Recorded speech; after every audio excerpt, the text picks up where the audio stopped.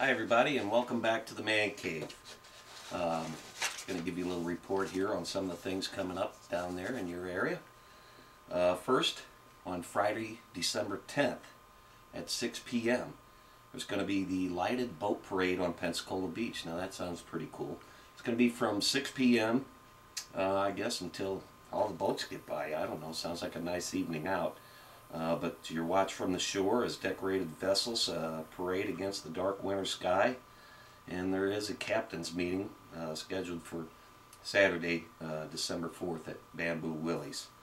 So anyway, that's uh, the lighted boat parade on Pensacola Beach. Sounds like a good time. If you guys are down there, get out and check that out. Friday, December 10th at 6 p.m. Uh, next, I've got the Northwest Florida Symphony Orchestra is having a uh, Christmas concert. And uh, they're going to be at the Mattie Kelly Fine Performing Arts Center. Uh, so that's in Niceville, Florida. It's twenty-two fifty for adults, 16 bucks for youths, 18 and under. The uh, phone number to contact them for that is 850-729-6000. Uh, so they're going to have the uh, symphony chorus joined with the symphony orchestra. And they're going to do some seasonal music of the 18th century. So you get to uh, ring in the holidays with, uh, you know, carols singing and, and all that kind of stuff. So that might be a, a, a nice thing to do if you get up there around the, the uh, Niceville area.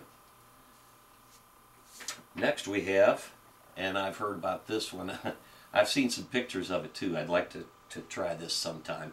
The, I'm guessing it's Chumuckla Redneck Christmas Parade and Festival. It's at uh, starts at 9 a.m. and it goes till 4 p.m. Saturday, December 11th at Chumuckla Ballpark. Going to have live music, uh, food vendors, redneck games during the festivals. Hey, that'll be right in there. And they're going to have, uh, looks like 250 floats are going to be in the parade. So it sounds like, uh, and I've seen some of those floats. Uh, if you get a chance, uh, get out there and check that out. It'll be a lot of fun for you and your family. Also, uh, coming up. We got Visit with Santa on the Harbor. This is going to be on Saturday, December 11th from noon to 4 at the Emerald Grand Harbor Walk Village in uh, Destin. You know, you can bring the kids out and Santa Claus is out there and they get to give them the wish list and, you know, tell them about that Red Ryder BB gun or whatever it is they want this year. And uh, they get a little treat from Santa. So they got all kinds of stuff for the uh, boys and girls, little treats and and all kinds of things going on there. And they're going to have photographs, obviously, with uh, Santa. It doesn't really say how much that's going to be, but you can count on they're going to have them and they'll be selling them. So, um, anyway, again, that's uh, Saturday, December 11th from 12 to 4 at the Emerald Grand Harbor Walk Village uh, over there in Destin. So you might want to check that out. And here we got uh, another one, another boat parade, the Destin Harbor Boat Parade. So if you don't get to the one in Pensacola, you might be able to catch this one.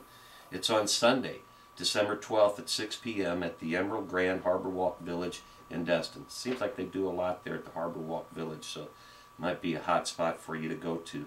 Uh, Destin Harbor will be dancing with holiday lights and cheer. Uh, it's their 23rd annual boat parade.